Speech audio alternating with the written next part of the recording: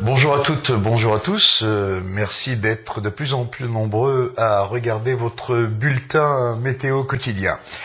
En ce qui concerne euh, la météo ce week-end, ben, c'est pas la même carte que d'habitude. hein. Bah, je reconnais pas. Hier, c'était pas ça. C'est sûr que c'est la France. À l'envers. Veuillez nous excuser de cet incident technique. Alors, en ce qui concerne la météo euh, de ce week-end, en ce qui concerne le, bassin parisien, c'est-à-dire la toute cette